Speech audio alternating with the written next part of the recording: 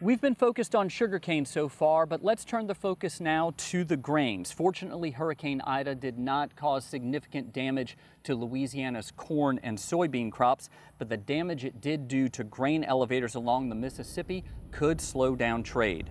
This is the Cargill Reserve Grain Facility. You can see in these pictures that the conveyor system that takes grain to and from the ships and barges on the Mississippi River collapsed onto Louisiana Highway 44. In published reports, Cargill officials issued a statement saying the company is assessing the damage as the reserve facility still has several personal safety concerns and power outages. The company currently has no timetable to reopen operations there Experts in the grain trade business estimate it'll be two to four weeks before this grain elevator can resume operations.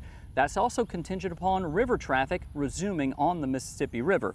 We'll talk more about that with the Louisiana Commissioner of Agriculture and Forestry, Dr. Mike Strain.